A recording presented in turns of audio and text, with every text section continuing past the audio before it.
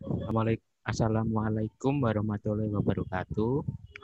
Uh, kam, kelompok kami akan menjelaskan dan mempresentasikan rancangan bisnis yang kami buat. Rancangan bisnis kami adalah rancangan bisnis tentang jasa ini pembuatan jasa pembuatan undangan digital atau online. Saya Ananda Misa Emerald. Saya Tasya Aurelia.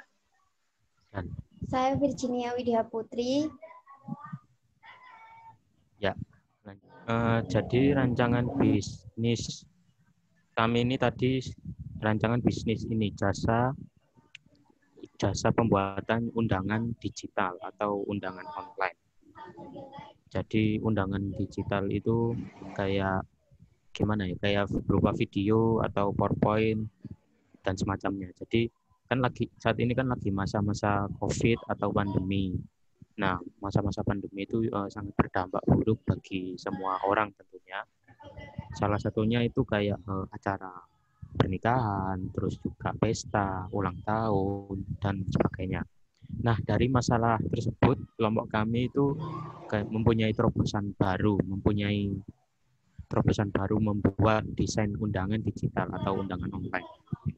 Karena pada saat ini itu walaupun uh, pandemi ini masih ada, tapi tetap banyak orang yang uh, melakukan acara kayak resepsi atau acara pernikahan, pesta, ulang tahun dan lain-lainnya yang di mana itu uh, sangat apa ya sangat nggak anu lah pokoknya sangat bahaya lah istilahnya itu. Nah terus menggunakan undangan digital ini selain murah lebih praktis dan juga nggak ada kontak fisik ya tentunya. Itu nggak perlu menyebarkan undangan ke rumah-rumah gitu. Jadi nggak ada kontak fisik sama sekali.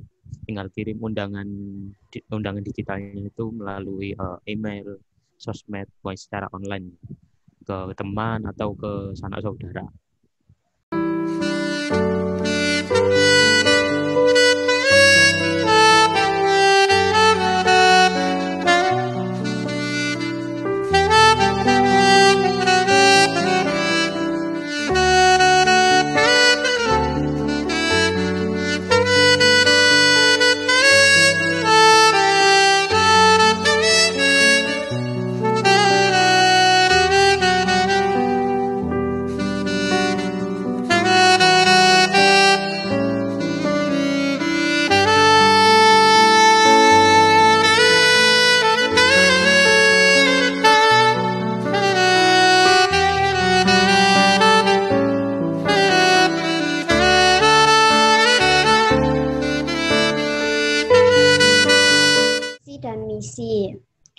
Visi dari kami yaitu kami selalu berupaya menjadi jasa undangan digital yang terpercaya, handal, dan berdaya saing tinggi dalam peraturan bisnis nasional dengan memberikan pelayanan prima, berkualitas, dan bertanggung jawab. Misi dari kami yaitu kami menjaga dan meningkatkan kepuasan pelanggan dengan memberikan kualitas pelayanan terbaik. Kami akan berusaha responsif dalam memberikan solusi jasa yang ekonomis namun berkualitas. Kami menjaga dan meningkatkan hubungan komunikasi dalam menjalin kemitraan dengan segala pihak demi tercapainya kerjasama yang berkesinambungan dan saling menguntungkan. Kami mewujudkan lingkungan kerja yang kondusif dan profesional serta mewujudkan keseimbangan kepentingan agar produktivitas dan kinerja dapat tercapai secara optimal demi kesinambungan bisnis dan kerjasama antar mitra usaha. Kami mempersiapkan dan mengembangkan sumber daya manusia yang profesional, berintegritas, berkualitas, handal, dan memiliki dedikasi yang tinggi demi tumbuh kembangnya jasa kami. Nah, selanjutnya adalah promosi dan target konsumen. Pemasaran dari uh, pada bisnis yang akan kami kembangkan yaitu melalui sosial media. Salah satunya adalah Instagram bisnis. Mengapa kelompok kami menggunakan Instagram bisnis? Karena hal tersebut bagi kami cukup efisien, mengeluarkan sedikit biaya namun menciptakan hasil yang lebih.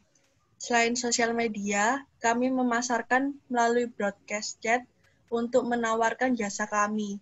Target kami tentu saja adalah orang yang menikah, ulang tahun, uh, wedding, kitan, pesta, dan sebagainya yang memerlukan undangan pada acaranya.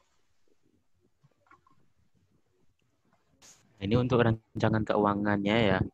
Uh, untuk promosi di Instagram, kami kan menggunakan Instagram bisnis ya lah. Itu ya kurang lebih 10.000 per harinya. Itu dapat menjangkau mulai dari 1.300 hingga 3.400 orang dalam sehari. Itu uh, kurang lebihnya ya segitu. Untuk kota ini 20.000 untuk promosi. Itu melalui WhatsApp atau aplikasi chat lah dan so, dan so, sosial media yang lainnya. Itu rancangan keuangan dari kami. Terima kasih itu tadi uh, presentasi rancangan bisnis dari kelompok kami. Maaf kalau ada salah-salah kata. Wassalamualaikum warahmatullahi wabarakatuh. Like, subscribe jangan lupa.